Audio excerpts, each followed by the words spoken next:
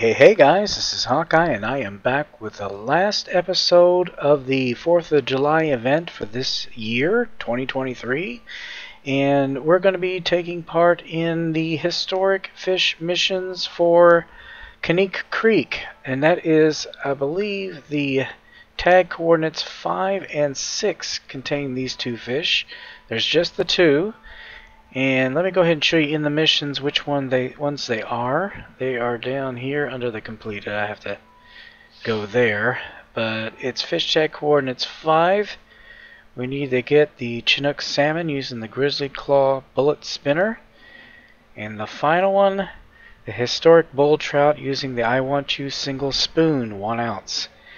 These are it. This is it, guys. Once you catch these, especially on this final one, number six, you have to go back to San Joaquin and get the go to that sunken canoe I showed you in the previous episode, get the relic chest. You have to go all the way back to Emerald Lake, fix George Washington's statue, then they make you go all the way to Everglades. Yeah, they make you run all over the daggone place, dang on it. I really wish that was not the case, but that is the case. So you really got to do a lot of fishing in order to get enough of you know cash in order to move or just spend a lot of cash but not my not ideal but it's that is part of the event.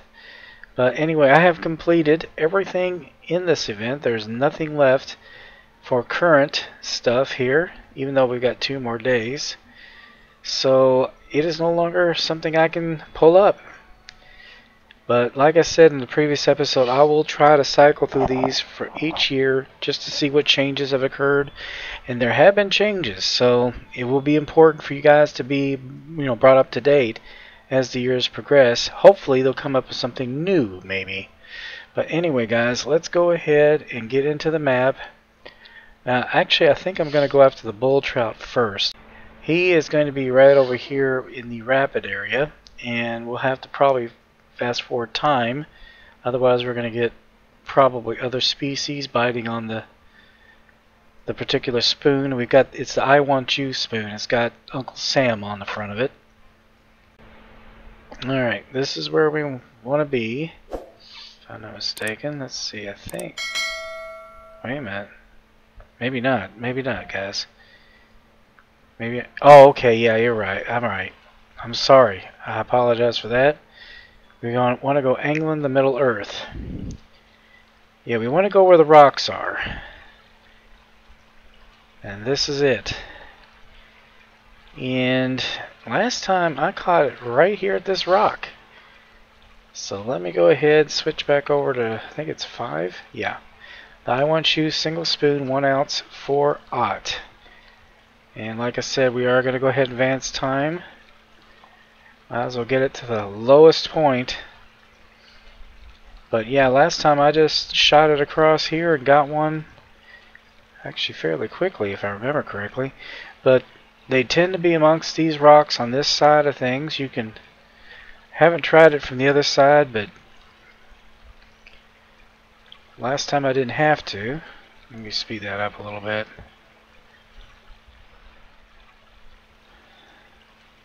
By the way, I am using my new reel, and it just so happens that, let me show you this guy.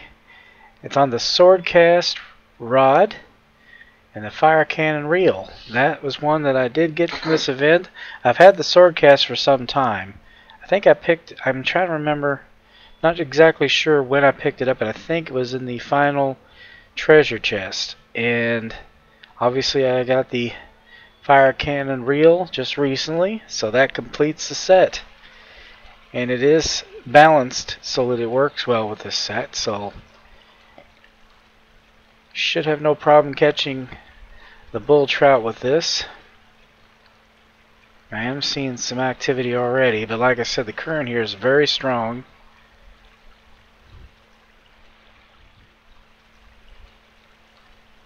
There we go. Alright, let's see if this is our fella. And we can bump that up a little bit, but this guy, he, he seems fairly tough.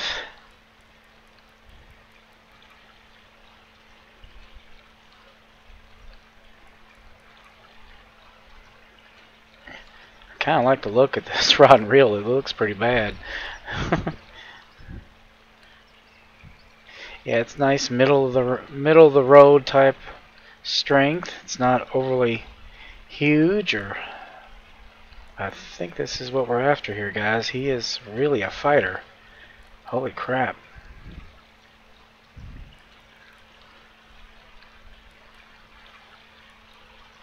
There we go. Let's see if this is him.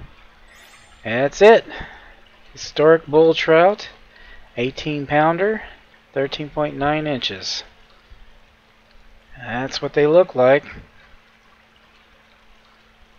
yeah, I haven't been to Alaska in a while, and I'm kind of contemplating coming here fairly soon because it's been quite the while. Let me go ahead and get a picture here of this fella. That's a nice looking fish. Yeah, a bull trout is a good name for him. They kind of almost remind me of bull sharks. They're real thick in the middle and well, kind of like a bulldog. Yeah, let me get a picture of him.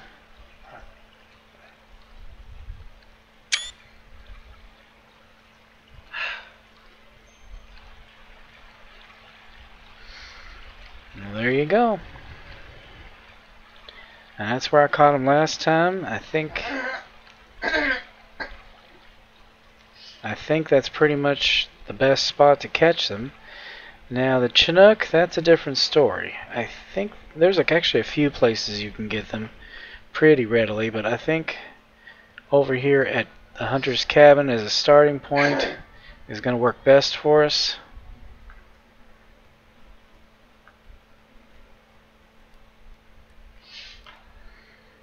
And we're going to need our other reel, which is number six, Sal Monster. Now for this we need the Grizzly Claw Bullet Spinner, one and one quarter ounce. Let's go ahead and fire off this cannon and see if we get anything. Wouldn't you know it, I got another single spoon. Well, I don't mind having more than one. It definitely helps. There's two good places to get this. Uh, one of which is out on these islands that are here in the center, and one is way, way, way down at the very end, as far as you can go. I think I'm going to try the islands first. Now, you got either way, you got to walk a little bit of distance, and it's not real deep right here, so you can wade across.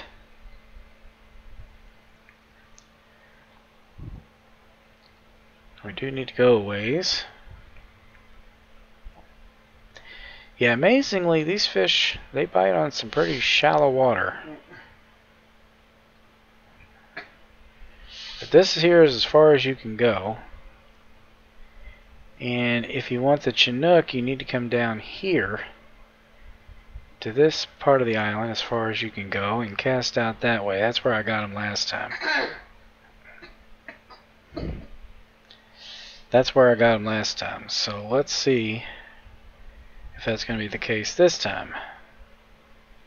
Nope, no, not with a float rod. yeah, just threw it right towards, I don't know if you can see them, but there's a some rocks right there. That's where I cast them at last time.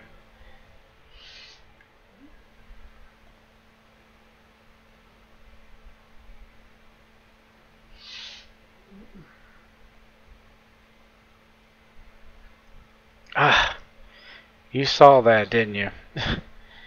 he went after it, but he didn't quite connect. Damn it.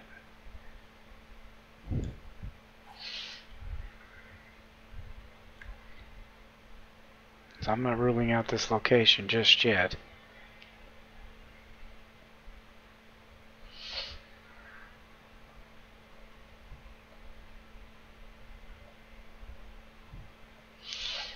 He had just come after it a little bit sooner,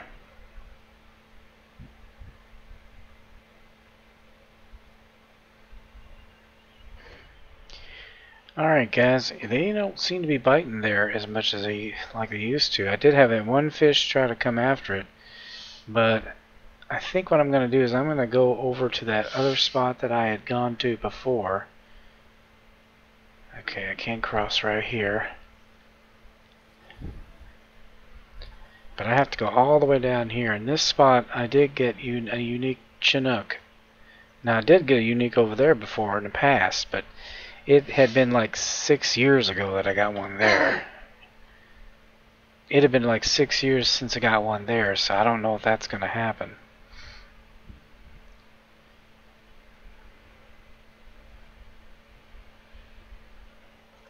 I always feel stupid walking with the rod held out in front of me. yeah, I do have some markers here, and one of them happens to be a unique Chinook salmon marker. Now, from how long ago, I couldn't tell you. Let me see here. That's marking a hole. It was 2020, so almost three years ago. Almost three full years ago. So I'll show you how long it's been since I've been here. And that was probably the last time I was here, honestly. So yeah, there's been some time in between.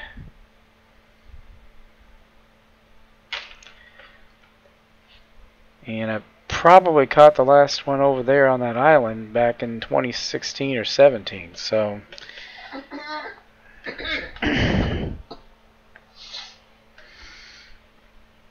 we're just going to have to see what happens. But we're going to try this spot one more time here. I don't remember if I used a lift and drop or stop and go, but we're going to try them both.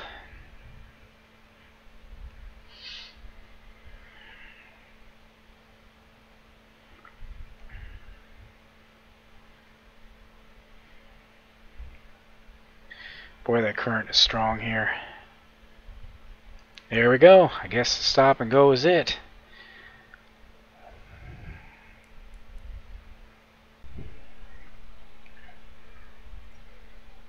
Providing that I have gotten the right kind of fish, that is.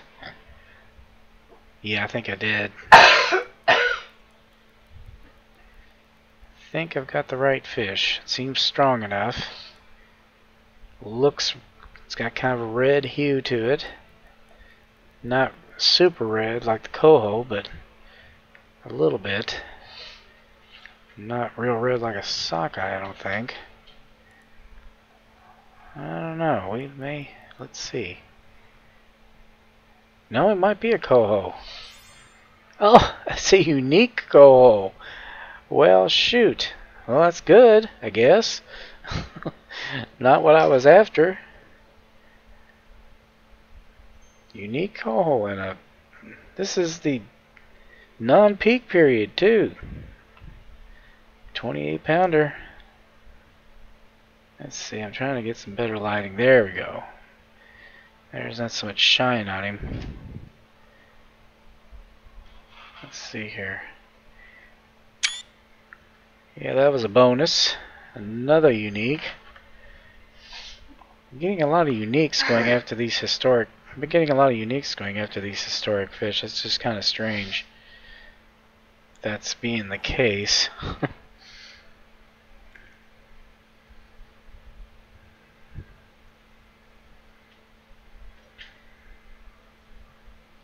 and I'm getting them non-peak periods. That's really strange.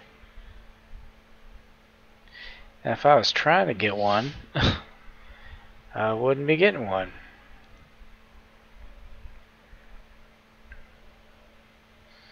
Okay, I don't know what this is. Oh, okay, at first I thought it was small. He didn't show a lot of oomph. Uh, he's still not showing a whole lot of oomph. Let's see what he is. He's just a plain Chinook. So, we are in the right spot. Okay, I'm not so sure. I wonder if the peaks could have changed on me here. Sometimes late at night that does happen. That's when I tend to, to play this game. And sometime around midnight, 1 o'clock in the morning, they sometimes change the weather conditions and the peaks on me.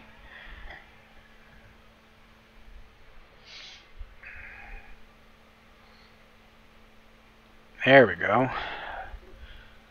Hopefully, this is what we're after. I'll definitely be certain to mark that.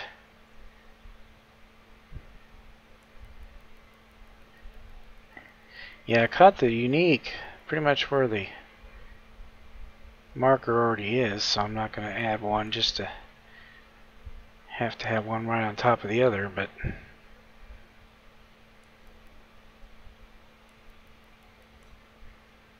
don't you even think about it.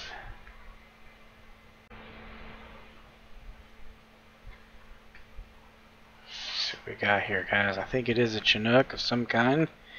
And it's the right one. There we go, finally. There you go. Quite a bit bigger than the other one that I caught. 31 pounds. Let's put him...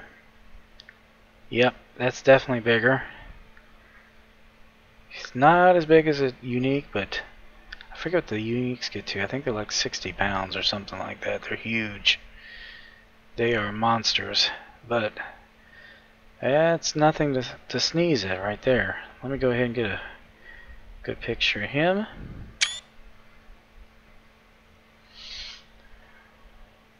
Alright. That, my friends, is the last of the historic fish. And we caught it there. Let's see. We'll go ahead and mark him just to make sure we have a marker for him. So we got him over there.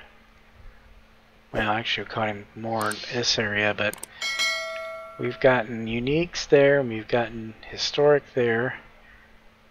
I might just toss that out one more time just for fun. See if we get anything.